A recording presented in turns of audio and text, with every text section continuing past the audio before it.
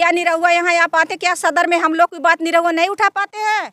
हाँ वोट जब लेने लेने हो, लेना होता है तो यहाँ हाथ हाथ गोड़ जो पब्लिक का वो लोग बोल रहे थे कि अगर यहाँ पे जैसे सिक्स लाइन बन गया फोर लाइन बन गया अब इंटरनेशनल एयरपोर्ट बन जाएगा जिससे होगा कि बड़ी बड़ी कंपनियाँ निवेश यहाँ यहाँ यहाँ पे आके करेंगी। कहाँ करेंगी? सरकार ने सारी जहाज़ों को बेच डाला है। एक भी जहाज़ उसके पास से नहीं है। हवाई अड्डे बिक गए। तो नमस्कार दोस्तों सबका साथी में स्वागत है। और इस वक्त हमें खिरिया के बाग में और जो कि इंटरनेशनल एयरपोर्ट की जो सरकार मांग उठाई है, उस पर जो लोग यहाँ किसान, इनकी ज़मीनें हैं, वो लोग देने के लिए एतराज़ हैं। आइए इन दोबारा इनसे फिर पूछते हैं, जो भी विचार इनका है, आइए सुनते हैं इनसे। हैं अच्छा चाचा जी, एक सवाल पूछना चाहते हैं आपसे हैं कि जो इंटरनेशनल एयरपोर्ट सरकार मांग की है, इस पर जिम्मेदार किसको मानती है आप? आप लोग देने के लिए एतराज़ हैं, इस पर जिम्मेदार किसको मानती है? मतलब कौन ये आवाज़ उठाया या डीएम उठाया यहाँ के सांसद उठाए? डीएम हम लोग की आवाज़ उठाए हैं कि डीएम हम लोग को बर्बाद कर रहे ये हैं वाली बात कौन कहा कि यहाँ की आपकी ज़मीन नपेगी अब यहाँ इंटरनेशनल एयरपोर्ट बनेगा। अच्छा वो जो नापने वाले पहले दिन है बारह अक्टूबर की बात है तो वो उसमें तो एसडीएम आए थे और पुलिस वाले थे एसओ थे और कानीगो थे नेपाल थे सब लोग थे उसमें। पीएससी उसमें थे। और वो सब आए दिन में, बारह तारीख को दिन में, अपना सिकड़ी उकड़ी गिराने लगे तो सब औरतें पूछी तो यहाँ की औरतें बेचारी सब मदद बहुत की, लड़ाई तो उन्हीं लोगों के ऊपर है, चल रही है हम लोगों को। तो वो सब अपनी पूछने लगी कि क्या हुआ, क्यों आप ऐसे कर रहे हैं? तो बोल रहे अरे हम लोग फ़सल देख रहे हैं, धान की फ़सल कैसी है? बेटा कुछ सूखा सूखा है, सरकार हमें भेजी है, नापने के लिए आए हैं, और आप लोग पैसे पाएँगे। तो जब बोले, वो लोग फिर एक बाद बोली कि नहीं, ये तो नापेगा नहीं, ये जो फ़सल देखने आते हैं तो नज़र से देखते हैं, वो कड़ी से थोड़ी नापते हैं। तो वो बोले कि, अरे, ये हवाई अड्डा बनेगा और एयरपोर्ट बनेगा और हम लोग नापने के, सर्वे करने के लिए आए हैं। तब ने और तो सब लप लप, लपटिया गई उनके सिकड़ी उकड़ी छोड़ने पे। तब उसमें फिर इसके बाद सब भागे। तो रात में चोरे के तरीके आए। बताओ, अधिकारी चोर हैं। इसीलिए दिन की ये नपाई जो खाई होती है रात को नहीं होती है। रात में आए थे? रात में आए ये सब बारह एक बजे चोरी करने के लिए। तो रात में बारह एक हाँ, बजे बारह एक बजे। तो औरतों को पकड़ पकड़ के ठेल दिए नहर में ठेल दिए धान के खेत में ठेल दिए औरतों लोगों को मारे दो तीन औरत सब बेचारी विधवा हैं उन्हों सबको मार दिए। एक उस गाँव में का चाचा हैं उनको हाथ मार के फिक्चर कर दिए कपिल देव कपिल यादव। और फिर देखिए, एक नौजवान लौंडा आपकी तरीका से थे, उनका पूरे जांग पर डंडे डंडे मार दिए। काली काली कजड़ी जमी थी पुलिस वाले? पुलिस वाले। आ, हर हर घर में एक एक पुलिस वाले घुस वर्दी में थे क्या सदर नहीं नहीं वर्दी में थे। और देखिए घर में घुस गए सबके। घर में घुस घर के कुंडी बाहर से चढ़ा दिया अंदर वाले अंदर बाहर वाले बाहर। और इसमें बाहर जो निकल गए वो चोर चोर चिल्लाए फिर पसियाना में गए फिर वहाँ भी चोर चोर चिल्लाए। और जब जनता चोर चिल्लाए तो वो सब खुद चोर चोर चिल्लाए वो लोग? वो लोग। ये बताइए शासन प्रशासन एसडीएम के खुद शर्म आना चाहिए। एसडीएम खुद ने गाली दिए हैं औरतों को। औरतों को खुद भद्दी भद्दी गाली ने दिए एसडीएम है वो। अधिकारी हैं अधिकारी को ऐसा करना चाहिए। कौन सी तहसील है आप लोग की? सगड़ी। हाँ। तो बताइए हम लोग का डीएम एसडीएम क्या करते हैं? वार्ता के लिए बुलाते हैं तो बेनतीजा हम लोग को वार्ता कर देते हैं। कहते हैं आप लोग अच्छा वार्ता के लिए बुलाते हैं? हाँ बुलाते हैं तो जाने के बाद आप लोग क्या बोलते हैं? क्या बोलते हैं? हम लोग ये कहते हैं कि हम बोलते हैं धरना आप लोग बंद कर दीजिए। आप लोगों को सहमति से आपकी ज़मीन लिया जाएगी ज़बरदस्ती नहीं लिया जाएगा। हम लोग क्यों हटेंगे? हम लोग तो कहते हैं हम लोग को लिखित मिल जाएगी। जब तक हम लोग को प्रमाण नहीं मिलेगा लिखित का लिखित कागज़ नहीं मिलेगा तब तक हम लोग अपना धरना नहीं बंद करेंगे। हमको कोई विश्वास नहीं है। जब अधिकारी रात का आकर डाका डाल सकते हैं तो हम लोग फिर सो जाएँगे रात में फिर ऐसे आके हम लोग को साथ यही नतीजा करेंगे तो हमको किसका विश्वास है? ना डीएम का ना एस का कोई का नहीं विश्वास है। आज कितना दिन हुआ धरना बैठे हुए? कितना दिन अच्छा एक सौ उनतालीस दिन हुआ। उनतालीस दिन हुआ। ये बताइए हम लोग के लिए न शासन है, न प्रशासन है, कुछ भी नहीं है, और न तो हम लोग के ऊपर शासन लगाए हैं, हम लोग यहाँ बैठते हैं, अपनी जगह ज़मीन के लिए बैठते हैं। हम लोग तो पूरी यही मांग है कि अपनी हवाई वो उनकी जो हवाई अड्डा है अपनी मास्टर प्लान वो रद्द करे। जब तक वो रद्द नहीं करेंगे तब तक हम लोग हटेंगे नहीं। कल यहाँ पे सांसद जी जो एयरपोर्ट मंदिर का यहाँ पट्टी है इस पे पर परीक्षण कर रहे थे। हाँ सांसद जी आए। पता है कि हाँ हाँ पता है। एक दो घंटे पहले हम लोग को पता चली। तो हम लोग को कोई तैयारी नहीं थी। तो उनका शासन प्रशासन तो उन्हीं का है। हम लोग का कौन ऐसा हम लोग का साथ देने वाला शासन प्रशासन है। ये नेता भैया ने बुलाए सबको कहें और पचास साठ जने गए वहाँ यहाँ से। जब यहाँ से गए तो वहाँ के पुलिस वाले लोग और उनकी जो उनकी पार्टी थी उनकी पार्टी थी तो कार्यकर्ता उनके हाँ? उनके कार्यकर्ता तो बोले कि अरे आप लोग चले जाइए पाँच लोग रहिए और इसके बाद अपना ज्ञापन दे करके आप लोग चले जाइए। तो ये बताइए जितनी हमारी महिलाओं थी सारे महिलाओं को उठा दिए सब कुर्सी पर से। तो ये बताइए पाँच जने वहाँ क्या करने के लिए रहेंगे? ज़मीन तो सबकी गई है सब ज़मीन सबके गई। क्या हम लोग जनता बेवकूफ़ है? वो निरहुआ का इतना बड़ा कलेक्टर बन के नहीं आया है कि निरहुआ के लिए कुर्सी है माला फूल है स्वागत के लिए है। क्या हम लोग बेवकूफ़ है? बाग में बैठे अपने ज़मीन के लिए हम लोग लड़ रहे हैं। अपने हक खातिर हम लोग लड़ रहे हैं। निरहुआ माने कुछ नहीं हम लोग समझते हैं। हम ही लोगों को वोट से वो सांसद हुआ है। अपने मर्ज़ी से नहीं सांसद हुआ। हम लोग का हक है जब सांसद हो हैं वो हैं हम लोग का। हम लोग का हक है वहाँ जाने का। लेकिन उनका पुलिस प्रशासन इंस्पेक्टर और वो सब उनका जनता जो है उनकी पार्टी का ये सब कितने बड़े धोखेबाज बाजी किए क्या यहाँ आने पर यहाँ खिरिया के बाग में क्या निरहुआ को लाज लग रही है? क्या करी एक बार भी नहीं आया? हुआ नहीं एक बार नहीं। कार्यकर्ता कोई? अब कोई नहीं आया है। एक वो आया श्याम सुंदर चौहान आया तो वो ही भी लगे उन्हीं मतिन बात करने के लिए। तो हम लोग राज़ी नहीं हुए। हम लोग तो घेर लिए उनको। अगर ज़्यादा हो गया होता तो उनको हार्ट हो गया होता यहाँ चले गए होते।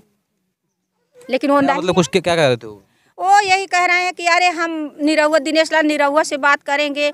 हम लोग ऐसा है कि वो वथुआ हो फिर से सर्वे होगा जहाँ खाली ज़मीन रहेगी वो कहाँ खाली ज़मीन है? मतलब जो कानून के हिसाब से जो सही बात है वो नहीं बोल पाए नहीं वो क्यों बोलेंगे वो सही? क्या निरहुआ यहाँ आ पाते? क्या सदर में हम लोग की बात निरहुआ नहीं उठा पाते हैं? हाँ? वोट जब लेने लेने हो, लेना होता है तो यहाँ हाथ हाथ गोड़ जोड़ते हैं। क्या अब उनकी लाज लगती है हम लोग को हाथ गोड़ जोड़ने के? अरे फिर समय आएगी। हम लोग तो बार बार कहते हैं कि जो हम लोग की आवाज़ नहीं उठाएगा सदर में अगर वो फिर वो व्यक्ति यहाँ आएगा तो हम लोग झाड़ू से और लाठियों से उनकी पिटाई करेंगे। हम लोग तो पूरे तैयार गाँव में सदन में तो उठ चुकी सदन में उठी तो विधानसभा में आवाज़ उठी। विधानसभा में तो निरहुआ उठाया है। जोगी मोदी उठाए हैं। वो लोग तो नहीं उठाए। तो नहीं उठाए हैं तो वो लोग अब नहीं आएँगे यहाँ। आएँगे। आएगा चांस 2024 आने वाला है ना? क्यों खड़बड़ी मची है? हम लोग को तो नहीं मची हम लोग तो आ, आ रहे हैं यहाँ पे। अपनी समय निकाल के आ रहे हैं अपना धरना देख रहे हैं। वो लोग क्यों परेशान है? क्यों धरना बंद करने के लिए कह रहे हैं? जो अ, इंदू चौधरी आई थी इससे पहले राकेश टिकैत आए थे पूनम पंडित लोग आए थे लोग किसान नेता भी हैं और समाज सेवी भी लोग हैं। इन लोग आने से कुछ मतलब आप लोग कुछ हो रहा है कि नहीं? हम लोग को बहुत राहत उन लोग के आने से। उन लोग को आने से राहत हुई हम लोग को साहस बढ़ा वो सबको। हम लोग को वो लोग सिखा के गए हैं तभी तो हम लोग आज धरना चले तो हम लोग को क्या पता धरना कैसा होता है? उन्हीं लोगों को बल की उन्हीं लोगों की बुद्धि पे हम लोग चल रहे हैं। न किसी से लड़ाई न किसी से झगड़ा न किसी से उल्टा। अपना सावधान से हम लोग अपना धरना चलाते हैं आके बाग में बैठते हैं अपने टाइम से बैठते हैं अपने टाइम से जाते हैं। किसी से न बोली न तकरार कुछ भी नहीं करते हैं। उन्हीं लोगों को कहले हमारा धरना आगे बढ़ रहा है। डीएम का कुछ हाल ही में कुछ आया था कि नहीं आप लोग के लिए? नहीं। बातें कोई सोचना? डीएम आए डीएम फिर वार्ता के लिए कह रहे हैं लेकिन हम लोग वार्ता के लिए कहीं नहीं जाएँगे। डीएम को आना होगा डीएम को गरज होगी तो खिरिया के बाग में आएँगे। खुद ही हाँ खुद ही आएँगे डीएम तभी वार्ता होगी। हम लोग अब आजमगढ़ नहीं जाएँगे डीएम से वार्ता करने के लिए। आइए आगे बात करते हैं और यहाँ के जो अध्यक्ष जी हैं उनसे कुछ बातें करते हैं। तो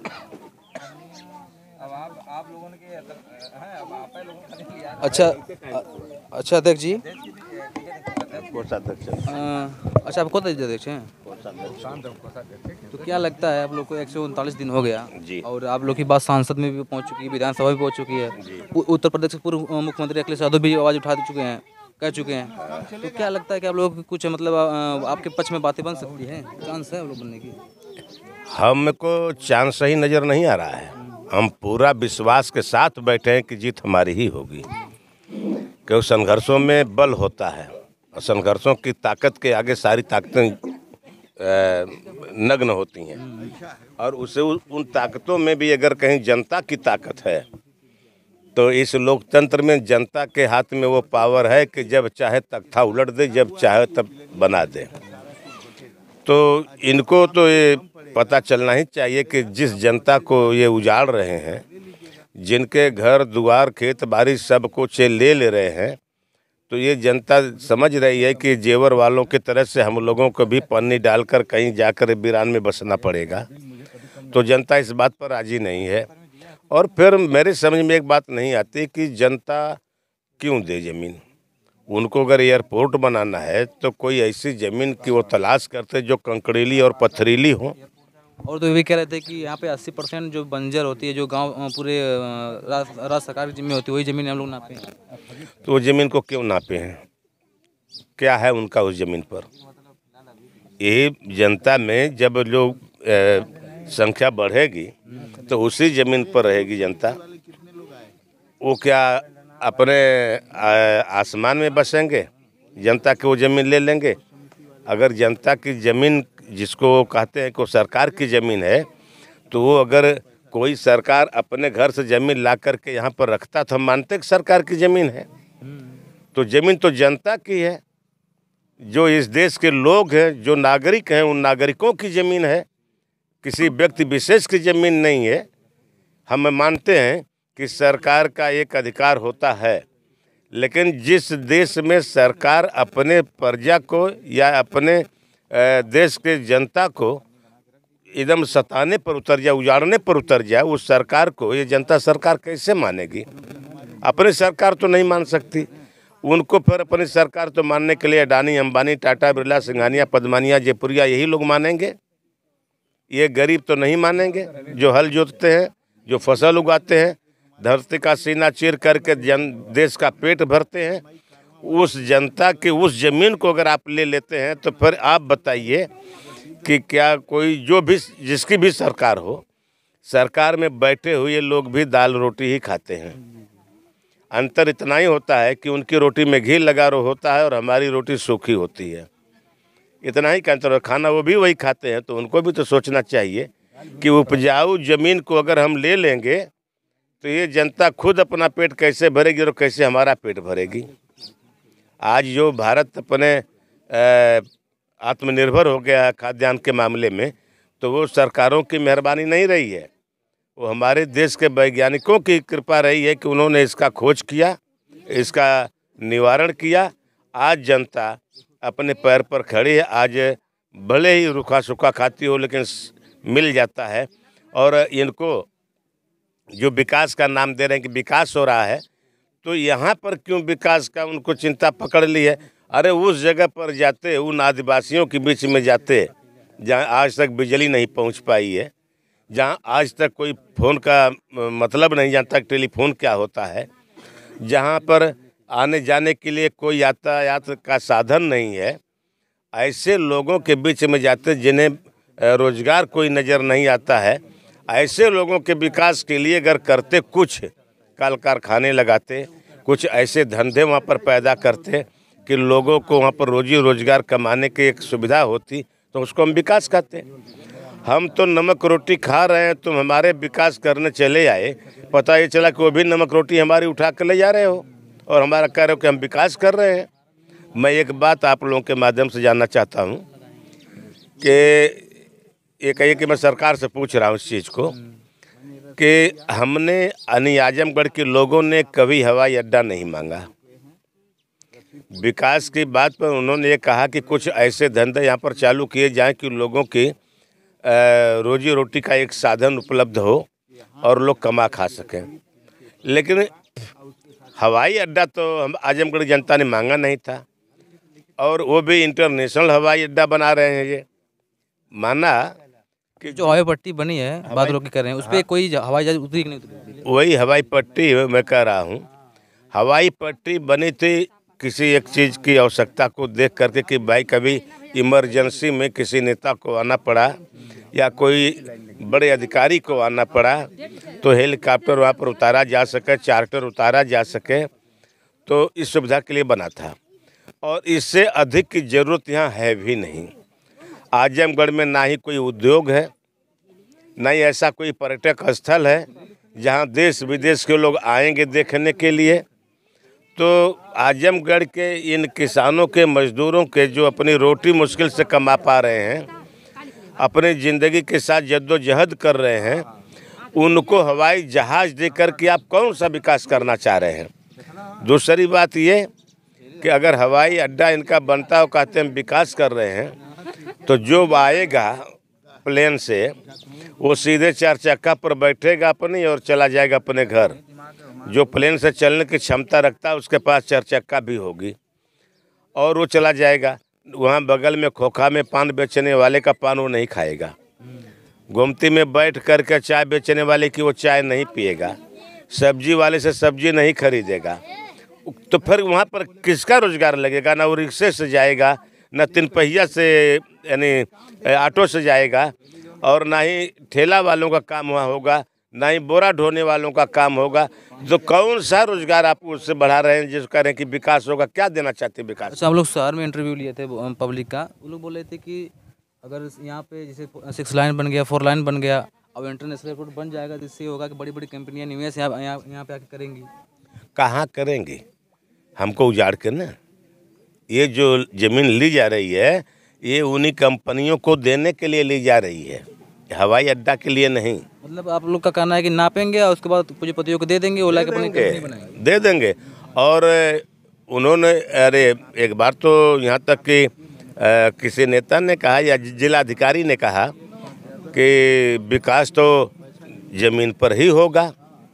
तो हमने उनसे प्रश्न कर लिया मान्यवर आपकी बात में दम है कि विकास जब होगा ज़मीन पर ही होगा लेकिन कृपा करके ये बताइए कि खेती कहाँ होगी? खेती तो भी ज़मीन पे होती है। यानी अगर वो ये बता देते कि खेती कहाँ होती तो हम मान लेते।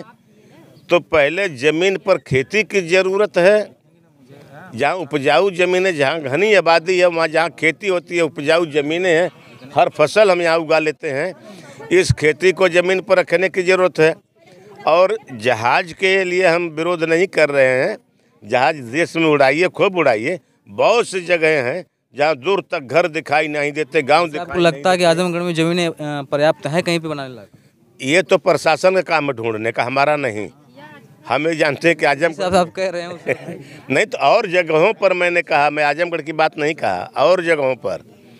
जहाँ पर कल कारखाने हों जहाँ पर कुछ दार्शनिक स्थल हों पर्यटक स्थल हों वहाँ पर ऐसे तमाम जगहें मिलेंगी। तो ऊपर जाकर बनाएँ। और जहाँ लोग जीविका चलाने के लिए कमा रहे हों वहाँ लोगों को उजाड़ करके आप बताइए कि लगभग चालीस पचास हज़ार लोग बेघर होंगे। मतलब इस इंटरनेट जी। आठ नौ गाँव के मिला करके लगभग पचास हज़ार लोग बेघर होंगे। इन पचास लोग अगर निकल जाते हैं एक तरफ़ तो सरकार नहीं बसा पाती उनको। हम लोगों ने एक बार खाना बदोश लोगों के लिए आवाज़ उठाया था।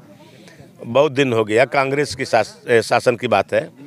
सर हमने का मांग किया था कि इन खाना बदोश लोगों को ज़मीन दे करके बसा दिया जाए फिर वहाँ से अपने ये रोजी रोज़गार के राह को ढूंढेंगे। तो उन सरकार ने जवाब दिया था कि हमारे पास कोई ज़मीन नहीं है। तो क्या इस सरकार ने कहीं से ज़मीन किसी देश से उठा करके यहाँ पर लाकर नई ज़मीन रखा है? जो यहाँ से पचास हज़ार लोग उजड़ जाएँगे बेघर के होंगे तो उनको कहाँ से ज़मीन देंगे वो?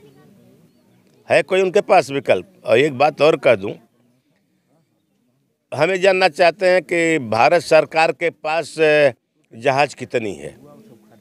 आप अ, बता सकते हैं कि कितनी जहाज़ है भारत सरकार के पास? हम तो गिने नहीं नहीं गिन। जो भी कवर भी सरकारी जानती होगी कितना बनाए कितने बनाई है। आप जानिए कि भारत सरकार ने सारी जहाज़ों को बेच डाला है। एक भी जहाज़ उसके पास से नहीं है। हवाई अड्डे बिक गए हैं। हवाई अड्डे भी उसके नहीं है। जब तुम्हारे पास हवाई अड्डे नहीं हवाई जहाज़ नहीं तो पर हवाई अड्डे के विस्तार विस्तारीकरण का ये जो प्लान तुमने बनाया किसके लिए? क्यों बना रहे हो इसको? बना करके? बेचोगे इसको? किसी पूंजीपति के हाथ? उन्होंने कहा था कि येवर का एयरपोर्ट हमारा एशिया का नंबर वन का एयरपोर्ट है। लेकिन बिका कितने में इसको नहीं बताया उन्होंने? कुशीनगर वाला एयरपोर्ट बिका कितने में? कोई नहीं जाना। लेकिन बिका, लखनऊ का एयरपोर्ट बिका, किसी ने नहीं जाना कितने में बिका। लेकिन बिका तो जब तुम्हारे पास जहाज़ नहीं तो पर हवाई अड्डा काहे के लिए बना रहे हो भाई? जब जहाज़ तुम सब बेच दे रहे हो। जब जहाज़ बिक गई सारी तुम्हारे पास सही नहीं अब जहाज़ बेचे रेल बेचे जो सरकारी कल कारखाने थे बेचे सरकारी जितने प्रतिष्ठान से सबको तुमने बेच डाला अब एक ज़मीन बची है इसी पर हाथ लगाए हैं।